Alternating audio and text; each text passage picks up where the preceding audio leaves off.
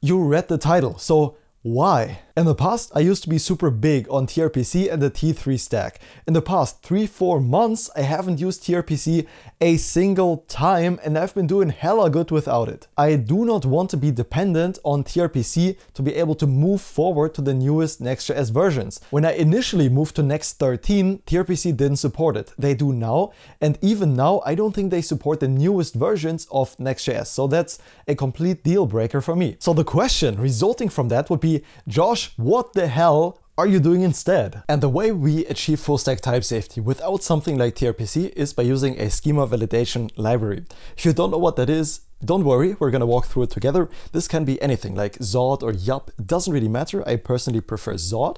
And we're gonna create a type and a schema. Those go super well together. Then in step two, we can make use of the type. This is where we are going to make the API request and we're going to use the type to validate that the payload we're sending out of the page.tsx is going to be of the type we have defined in or step one. And then the schema is going to come in in step three where we have the actual API route handler.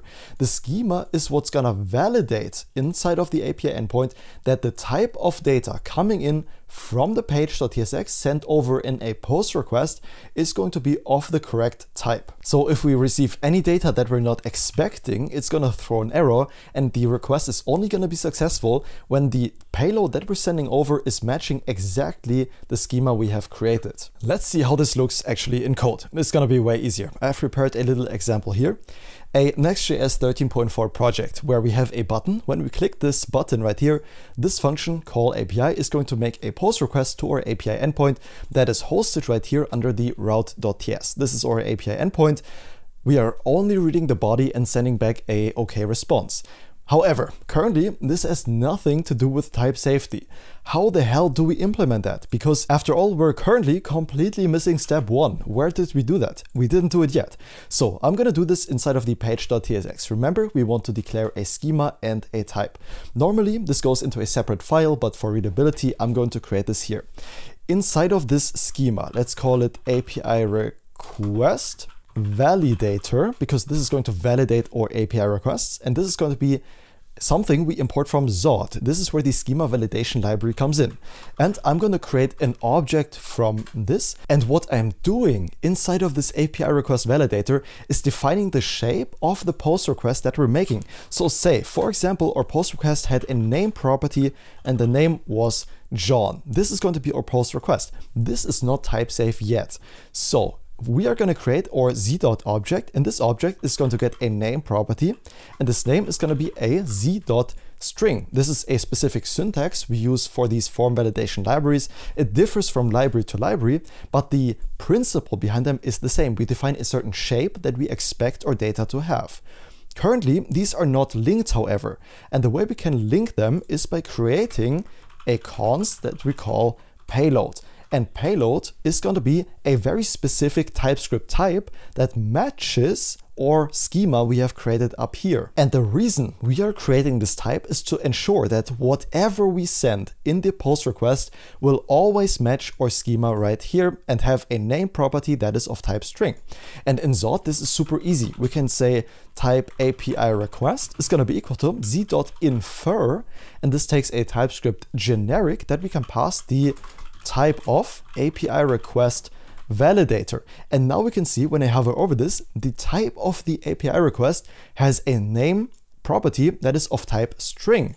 So we can enforce that type on the payload right here, we're gonna get an error, which is awesome because TypeScript notifies us that on the payload we're still missing a name. And this name needs to be of type string. If it was anything else, we would get thrown an error.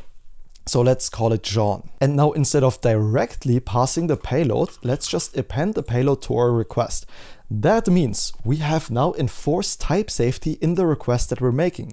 Because if we change this property, we will get an error and we can always ensure that the payload we send over in the post request matches this specific type. And this is precisely what I meant with the schema and the type. Take a look at this. This is our schema right here, the API request validator, that's our schema. And then below that is the type that we infer from the schema. So it's always going to be the same as the schema. And now that we have enforced type safety where we make the request, we also need to enforce it where we get the request. And to do that, we're going to use the schema we have created up here. I'm going to export this again. Normally you would have this in a separate file. And it seems we have to have this in a separate file actually. I wanted to include it here for readability, but let's just move it over into a separate file then. And now enforcing type safety in our actual API endpoint could not be easier. Let's say const data is going to be equal to, and now we're going to make use of the schema that we have created. I'm going to paste the name of the schema, the API request validator, that we can simply import. And on this, we can call a super cool function called parse that we can pass the body. You know, the body can be anything. Anyone can send any data to this API endpoint.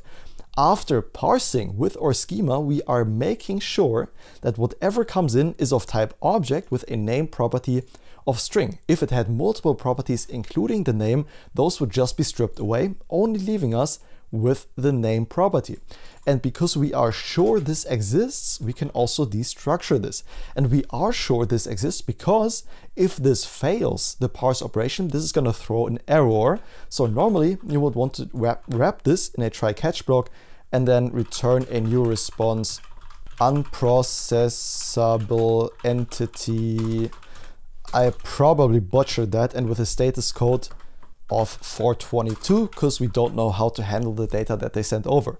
And now we are sure we have a name property in our backend. If you take a look at what we have just achieved is we made this part right here type safe. This now works. If we pass anything else than the payload right here in our page.tsx, we're gonna get an error right away. If I wanted to pass an age of 22, error, doesn't work. Great. However, we haven't made that second part, this one right here, type safe yet. And you understand how it works though. So if you wanted to make that part type safe as well, you could do the exact same thing. Whatever kind of response you're expecting to send back, create a schema for that API request response. And this is also going to be a z dot object. I generally recommend objects because you can destructure from them and the naming tends to be a bit easier. And for example, we could have an error property that is either a z dot string or this could also be op oops, optional. So we don't have to pass an error.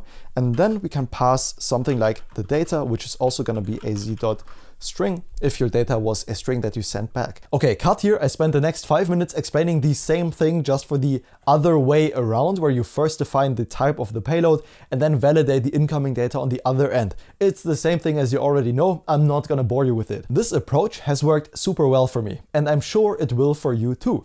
Try it out. I think you'll be flabbergasted in how well it works.